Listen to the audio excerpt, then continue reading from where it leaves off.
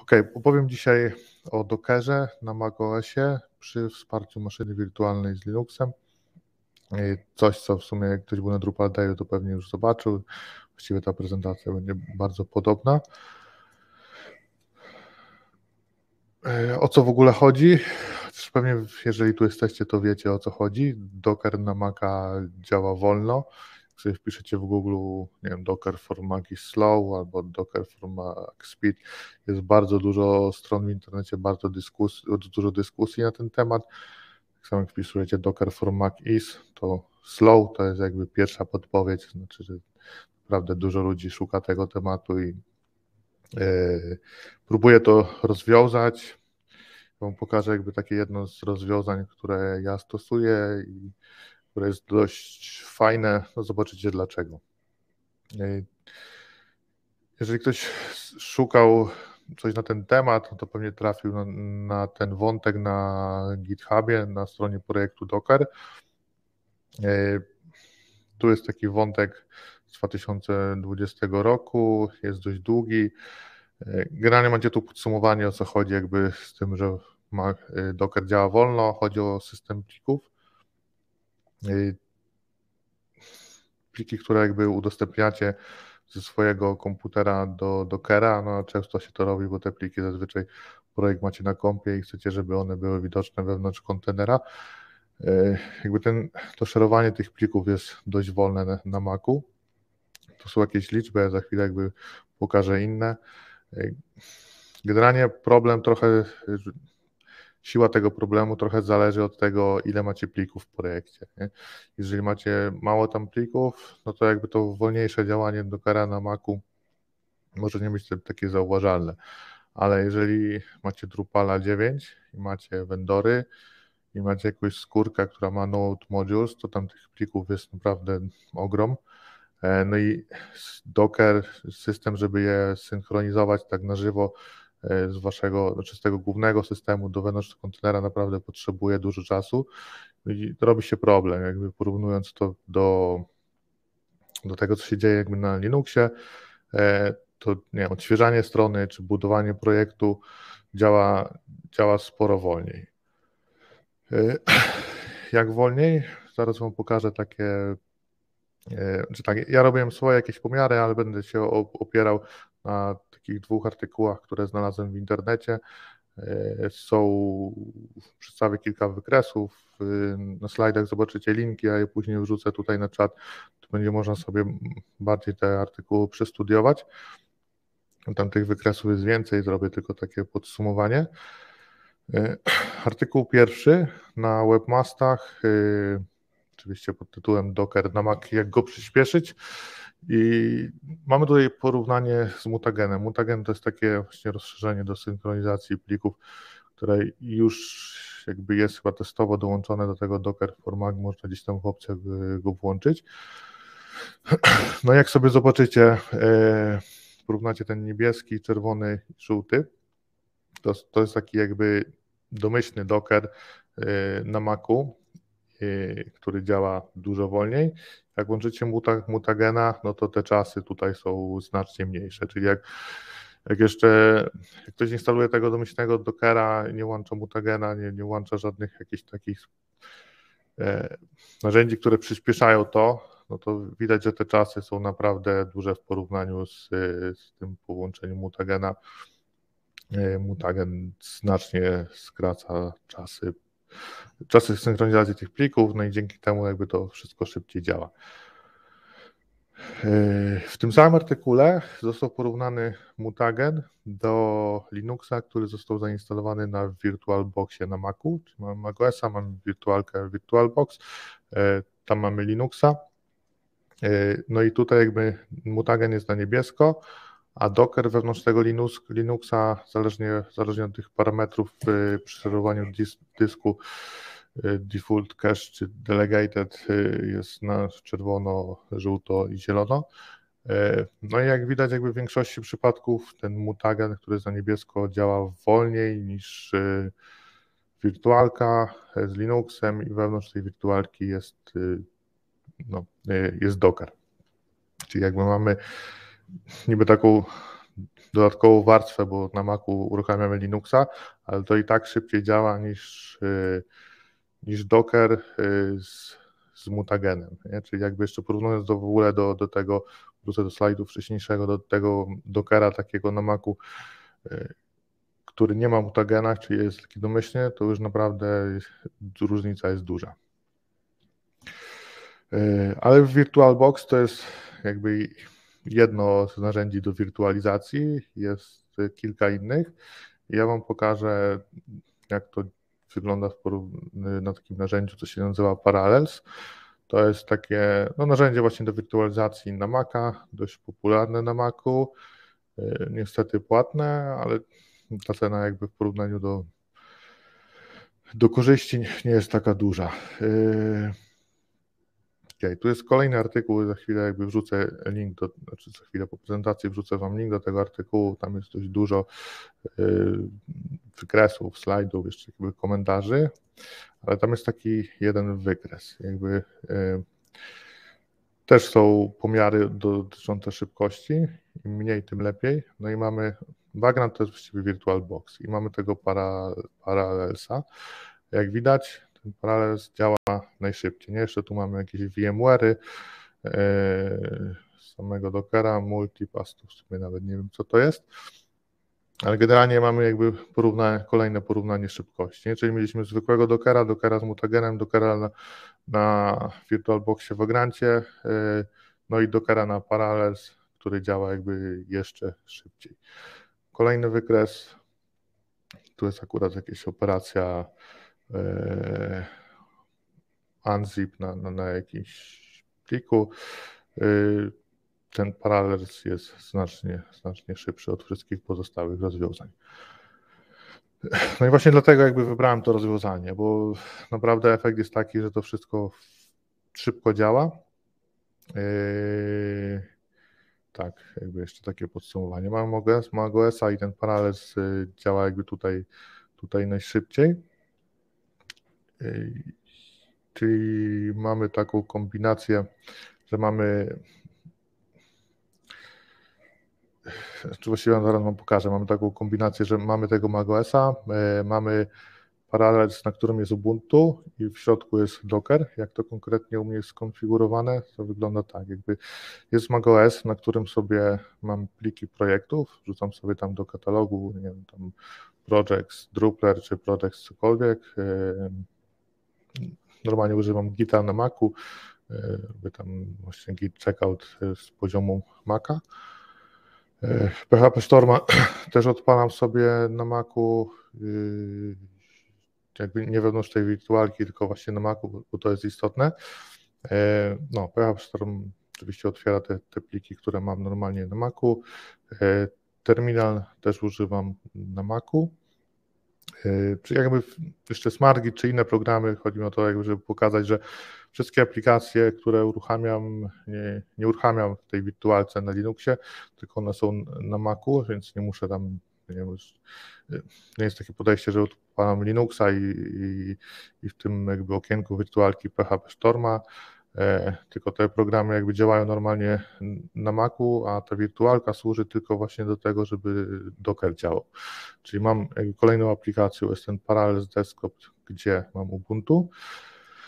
E, no i na tym Ubuntu instaluję takie główne rzeczy, czyli OpenSSH Server, po to, żeby się tam dostać do tej wirtualki z poziomu terminala z macOSa.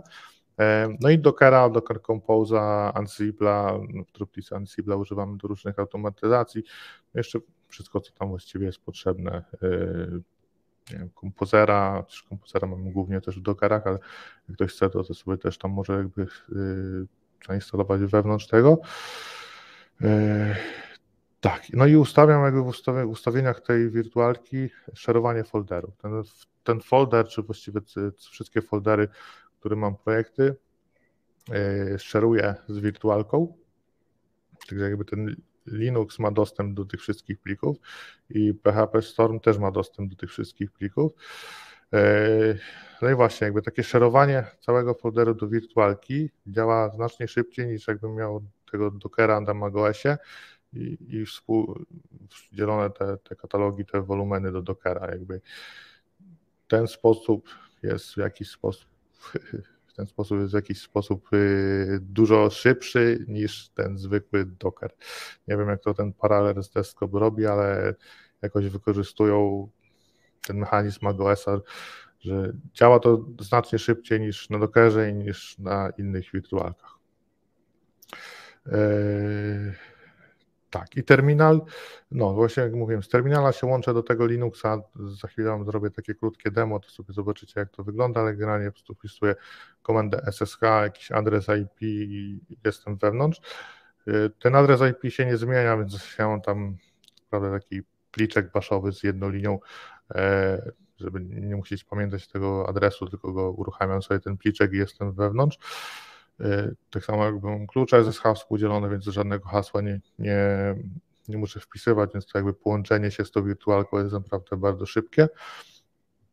Y, czyli tak to wygląda. Jeszcze raz, jak mam pliki na Macu, wszystkie aplikacje na Macu, a w wirtualce uruchamiam tylko tego y, Dockera i łączę się z nią przez OpenSSH.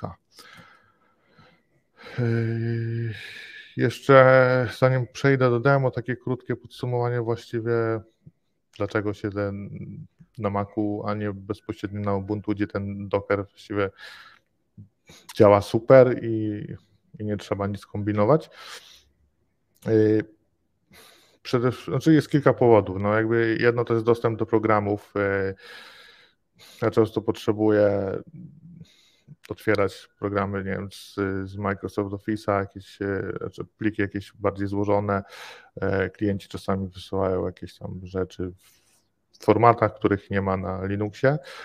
E, taka trochę głupota, ale przykład słuchawki z, z mikrofonem na Bluetooth działają no działają jak mają działać na Macu, a na Linuxie jest tym zawsze problem, szczególnie jeśli chodzi o, o mikrofon i robienie wideo rozmów, to nie zawsze dobrze działa.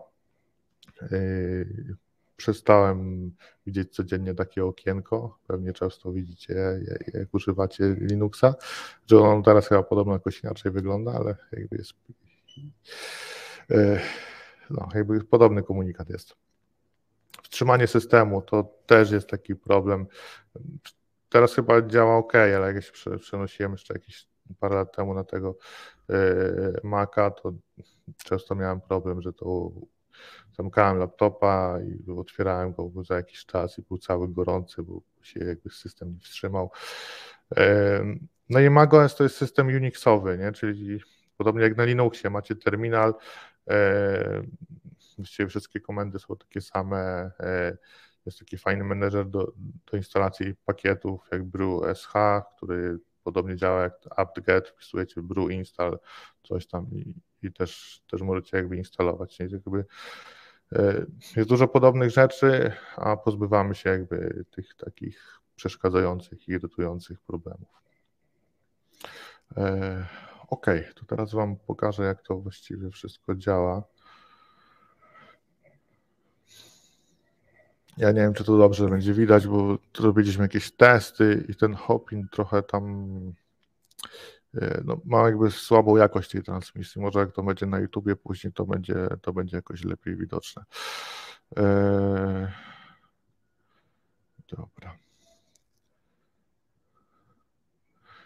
Więc tak, zacznę od tego, od tego okienka do konfiguracji. Jakby, mm, to są takie standardowe opcje konfiguracji, które znajdziecie czy w VirtualBoxie, czy, czy, czy w jakichś innych systemach do y, szerowania znaczy do wirtualizacji. Yy, aha, jeszcze powiem, ja tu mam Ubuntu ARM64, bo to jest ten Mac z procesorem M1, więc na tych Macach yy, musicie jakby też zainstalować yy, Ubuntu też pod, pod architekturę ARM i z dockerami, z obrazami dockerowymi też jakby musicie uważać, bo też muszą być takie obrazy, które wspierają ARMa. No większość już ich ma, więc to nie jest jakiś tam problem. Yy, hardware, ja mam ustawione coś takiego, że tu mam 4 yy, GB RAMu, komputer ma 16, 4 rdzenie. Tu jest reszta chyba wszystko domyślnie, nic, nic nie zmieniałem. Yy, no jedyna opcja to właśnie jest ten sharing, nie? jest ten folder z projektami jest umieszczony wewnątrz Linuxa. Dzięki temu jakby ta wirtualka widzi, widzi te projekty, te same, które są widoczne, projekty, katalogi, te same, które są widoczne na Macu. Ok, jak ja chcę to uruchomić? To sekunda. Start.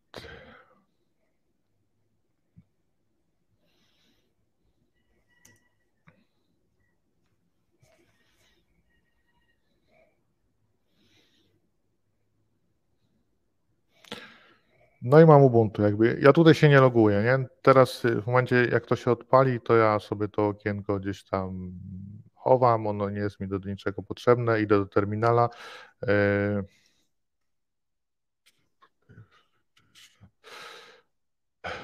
no i tak, jakby łączę się taką komendą z, z, z tym serwerem. Jestem wewnątrz. Jakby mam terminal na Macu. Yy, tu jakby ta lewa część to jest na Macu, prawa część już jestem wewnątrz w Ubuntu.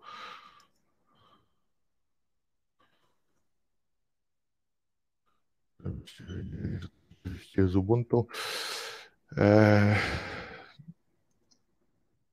no i tak, jakby ten katalog, który jest y, udostępniony, on sobie siedzi gdzieś.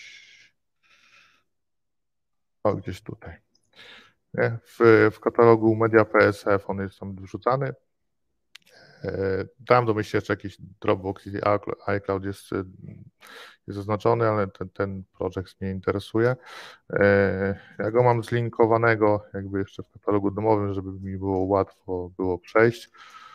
No i wchodzę sobie na przykład w projekty Drupler.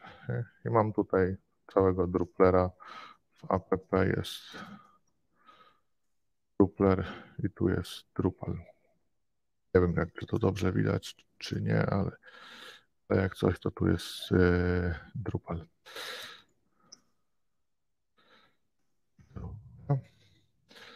No i tak, Docker PS pokazuje jakby uruchomione kontenery. Domyślnie tutaj mamy trafika, który służy tam do e, mapowania hostów do IP-ków i mamy w Dropkice takiego exeka, który tam uruchamia wszystkie kontenery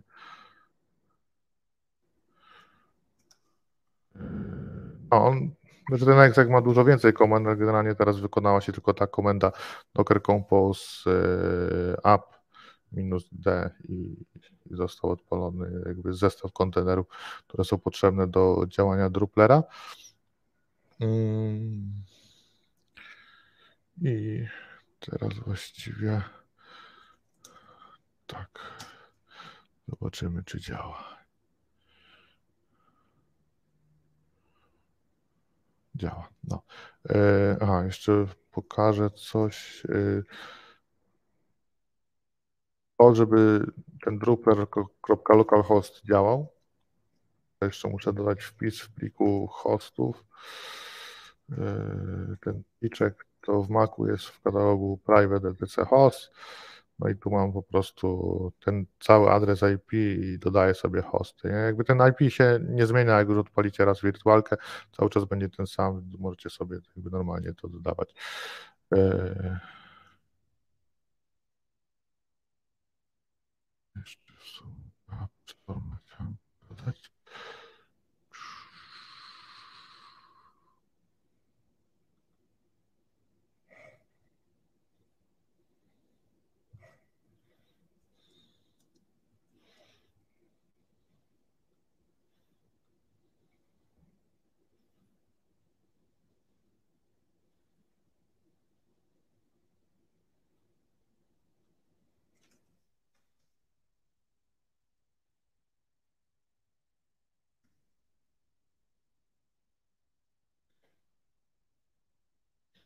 Zrobiłem sobie pliczek 1.php i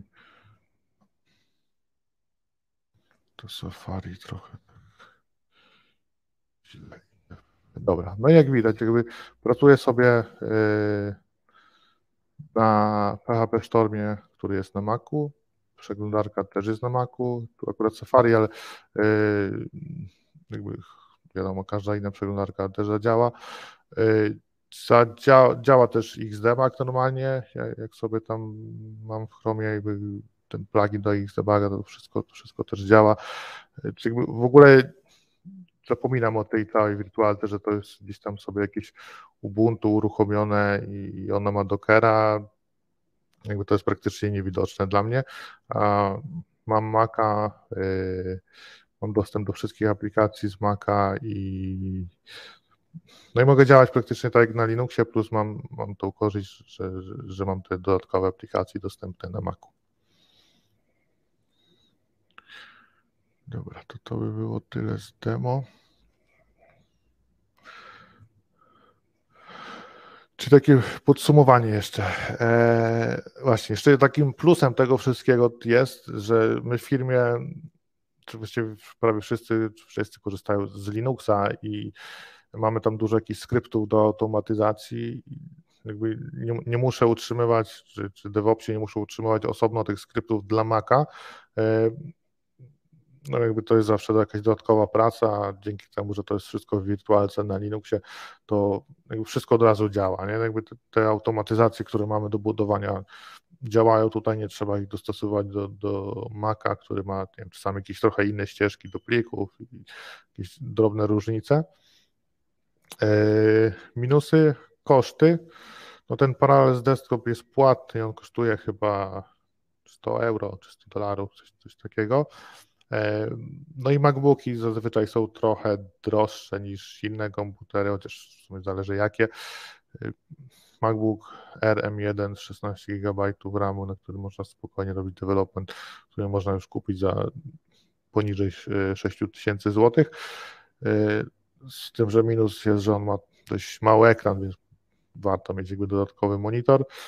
E, no i z minusem, minus jest taki, że jakby cały czas ten Docker będzie działał trochę wolniej niż na Linuxie, no ale jednak to jest różnica już, tam robiliśmy jakieś pomiary budowania aplikacji, to jest kilka, kilkanaście procent różnicy, a nie kilkukrotna różnica jak na, no jak na y, tym natywnym Dockerze na Macu. OK, to było wszystko. Czy są jakieś pytania?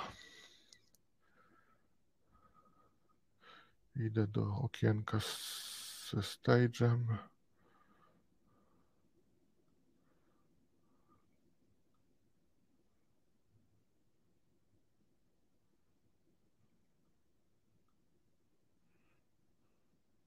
Nie ma pytań. To albo wszystko dobrze wyjaśniłem, albo nikt nie jest zainteresowany.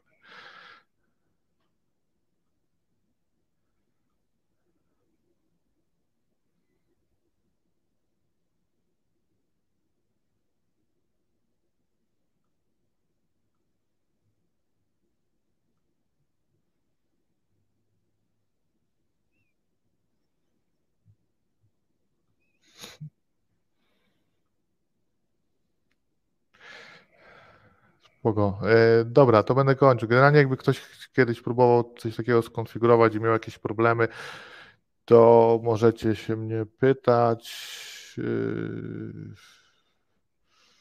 albo na mailu, chociaż najlepiej jakbyście pytali w sumie na tej grupie Drupal, Drupal.pl na Facebooku, to przy okazji inne osoby dostaną odpowiedź. Nie? Ta wiedza zostanie gdzieś tam zapisana i wszyscy, wszyscy zobaczą. Okej, okay, to dziękuję za uwagę i zapraszam na kolejne wykłady.